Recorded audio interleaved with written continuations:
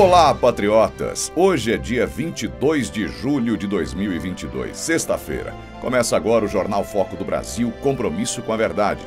Muito prazer, eu sou Leonardo Miller e a partir de agora estaremos juntos nesta primeira edição. E sempre às 8 da noite, a segunda edição é comandada por Cleiton Basso.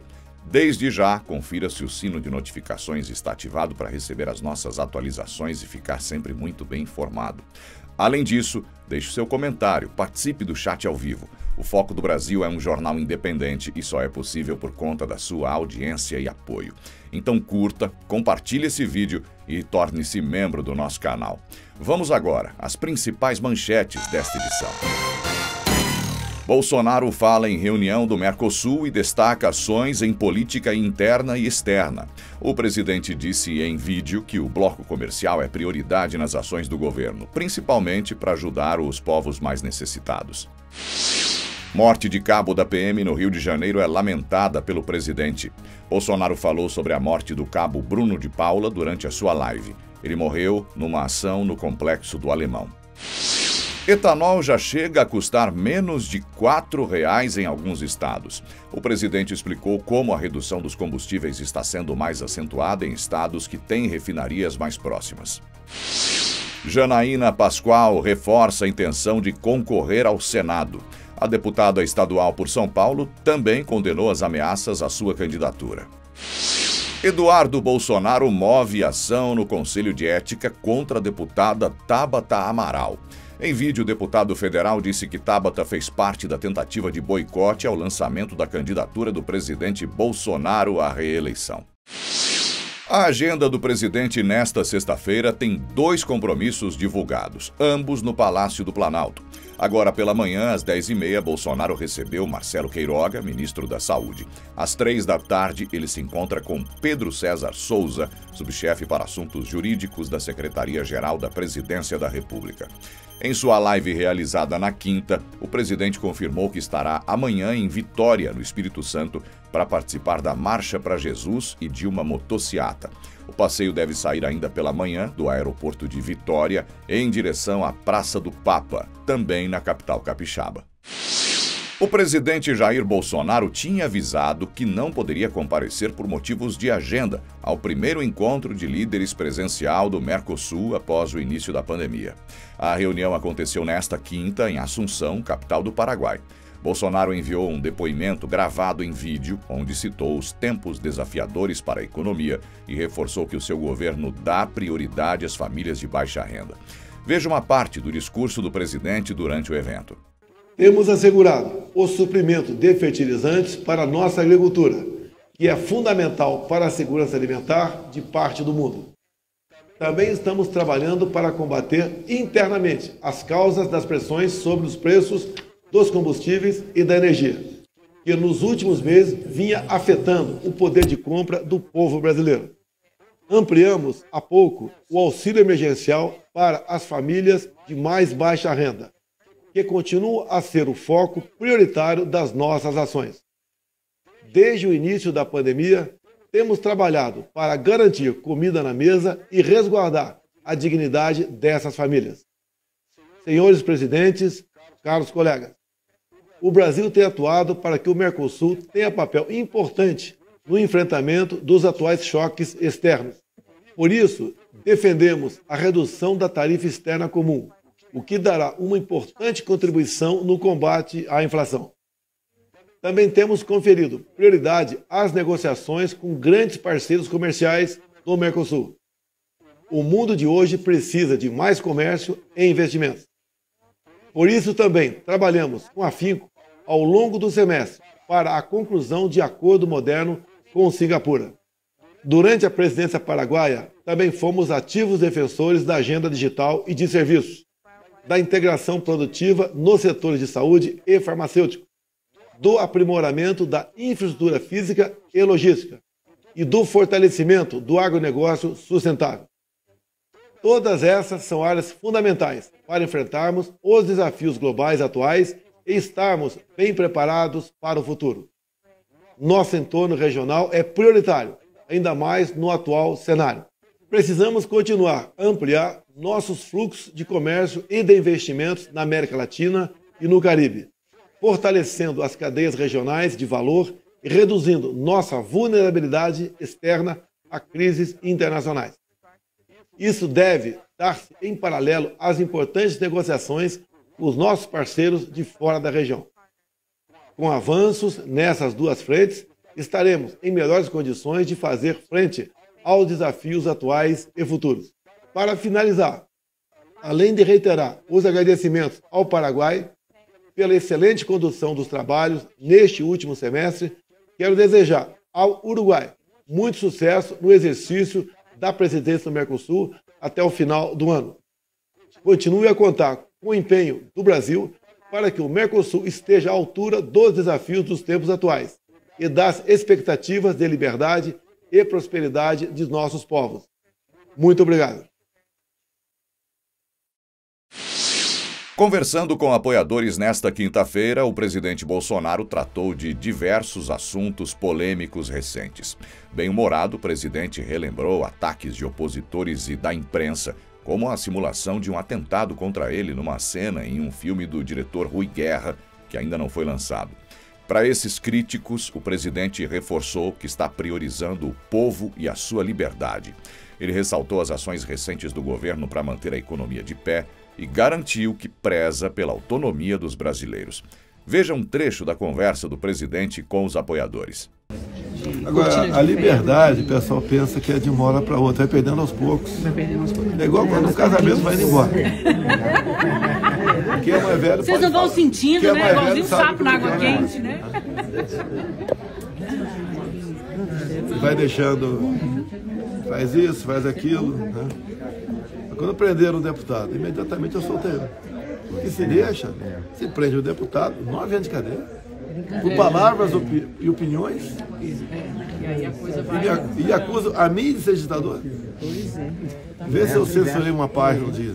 Não falta a página dando pancada em mim o tempo todo, jogando futebol com a minha cabeça. Agora estavam fazendo um filme no Rio, uma cena executando os motociclistas, que era eu.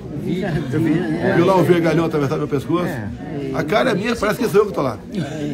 Isso é. Isso é, é ódio do bem.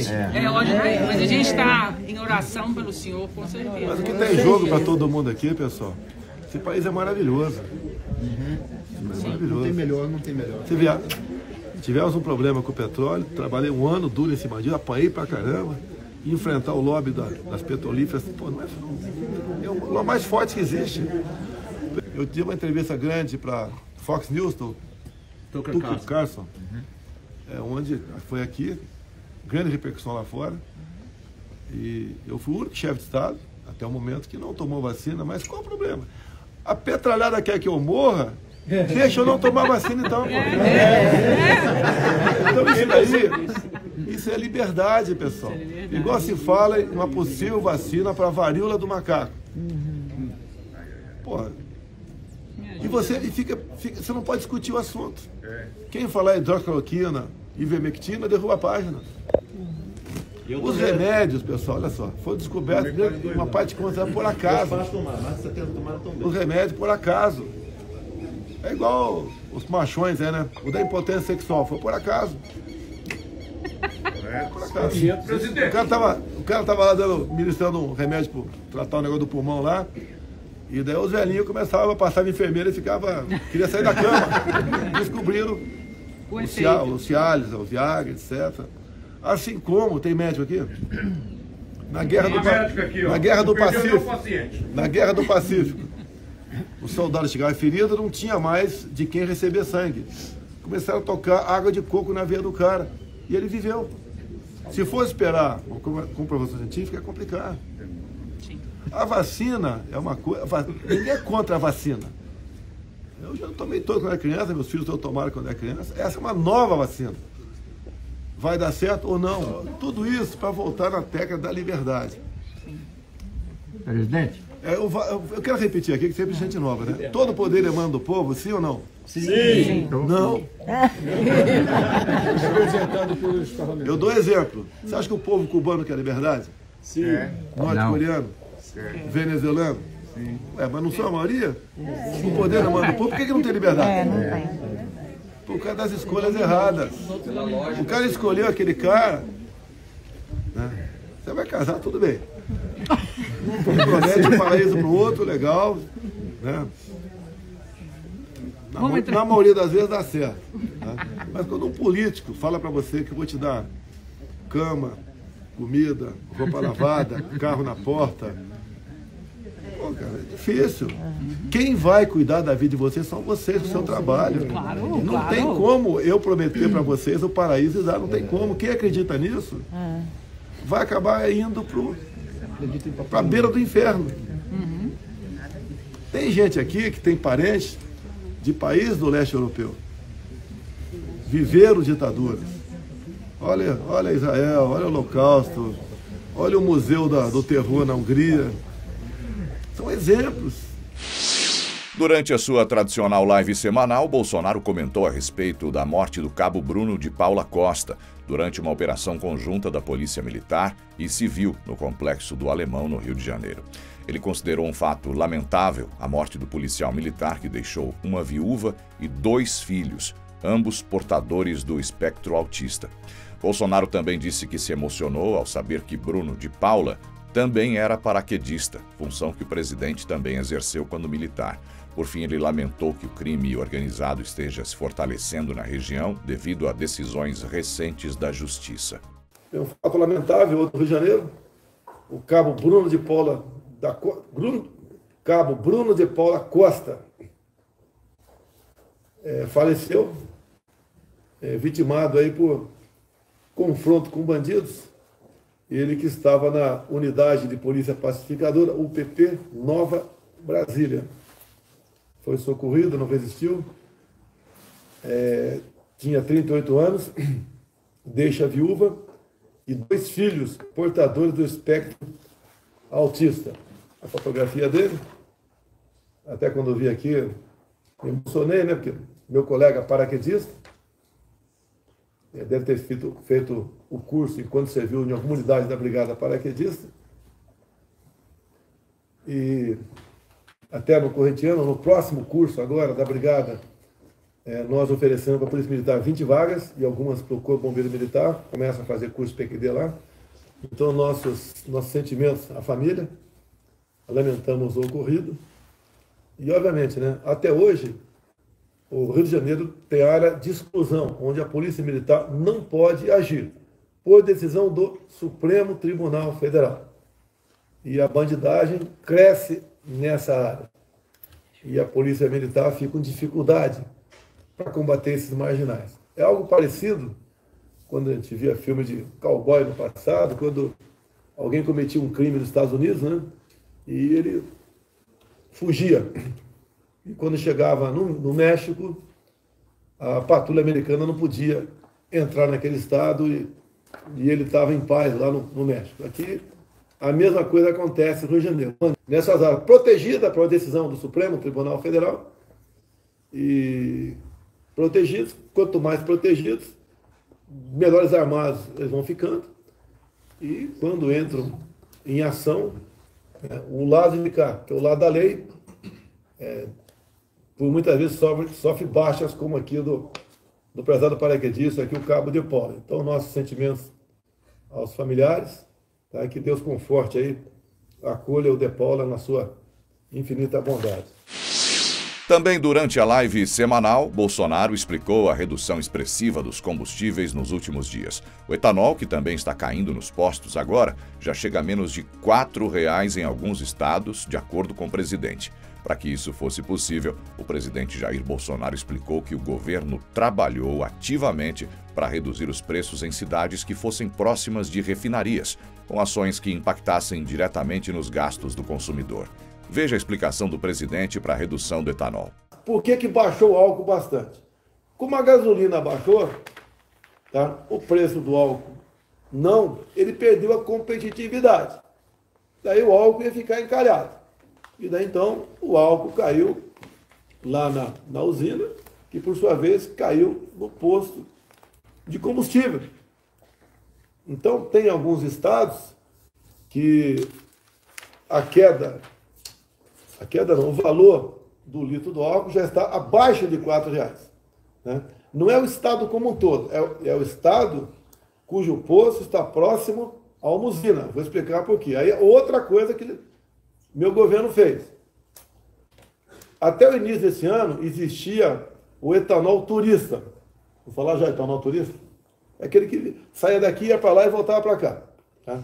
O que acontece? Como era obrigado o combustível passar por uma distribuidora, o caminhão de álcool, né, de, saía daqui de etanol, andava 200, 300, 400 quilômetros até a distribuidora, depois voltava em direção à usina e despejava o álcool num posto a 3, 4, 5 quilômetros da usina. O que, que nós fizemos? Passamos a permitir a venda direta da usina para o posto. Então, por exemplo, o posto de combustível, que está próximo de uma usina, ele, aquele álcool sai dali, anda 4, 5 quilômetros e cai lá no reservatório do posto. E como praticamente o custo do frete foi baixíssimo, o preço da usina chega próximo ao preço da bomba. Por isso que os estados produtores, tá, que, cuja usina tem proximidade do posto de gasolina, nesse, nesses postos de combustíveis o preço está lá embaixo. E os estados produtores, temos São Paulo, Goiás, Mato Grosso, os do Nordeste. Então, o maior número de postos com combustível abaixo de 4 reais deveria ser o Nordeste. Então, essa. Nós estamos conversando aqui com o Ministério das Minas e Energia. Quem sabe fazemos, a ideia é fazermos um super cadastro, onde você vai poder entrar na internet, tá? Bota lá o teu endereço, vai aparecer ali o, a usina mais próxima do teu endereço, que por consequência você vai achar um posto mais próximo possível, e ali deve ter o etanol mais barato. A deputada estadual Janaína Pascoal, do PRTB de São Paulo, foi às suas redes sociais nesta quinta para ratificar a sua intenção de concorrer ao Senado pelo Estado paulista. A parlamentar que participou de maneira ativa do processo de impeachment da ex-presidente Dilma Rousseff argumentou ter sido a primeira a se apresentar como pré-candidata e disse que a democracia se baseia na liberdade de disputa eleitoral. Ao comentar sobre sua pré-campanha, Janaína ressaltou que trocou um partido grande e rico, o PSL, para ir a uma sigla que a garantiu a sua candidatura e a liberdade de expressão. Por fim, Janaína pediu aos agentes políticos que não peçam mais para ela desistir da sua corrida ao Senado por São Paulo. O deputado federal Eduardo Bolsonaro, do PL de São Paulo, gravou um vídeo informando que entrou com uma ação contra a também deputada Tabata Amaral, do PSB paulista, no Conselho de Ética da Câmara. Eduardo condenou a atitude da colega congressista, que, segundo ele, trabalhou para boicotar o evento de lançamento do presidente Bolsonaro à reeleição neste domingo no Maracanãzinho. Ele disse que a esquerda é incapaz de promover eventos em locais públicos e informou que o PL tomará providências contra o que classificou como jogo sujo de Tabata.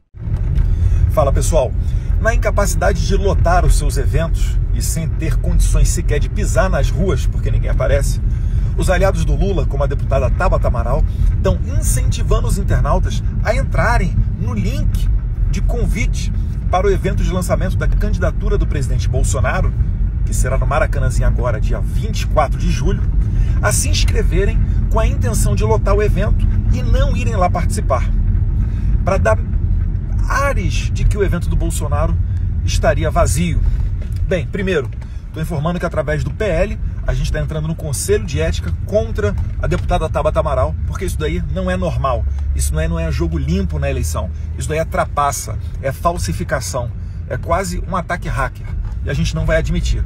Fora isso, outras providências estão sendo tomadas. E para você que pretende no Maracanãzinho prestigiar o presidente Bolsonaro dia 24 de julho, uma boa notícia pode chegar lá que mesmo sem inscrição, se tiver espaço físico, você vai poder entrar. E se porventura né, não conseguir mais ter espaço para entrar, telões serão disponibilizados do lado de fora. Então, tamo junto. O mal não vencerá, essa esquerda não vai prosperar, não vai voltar para assaltar o brasileiro de novo. Um abraço, fiquem com Deus. E assim chegamos ao final de mais uma edição do Jornal Foco do Brasil. Novamente, não se esqueça de se inscrever no canal, seja membro e não perca hoje à noite a segunda edição do Jornal Foco do Brasil com Cleiton Basso. Até amanhã.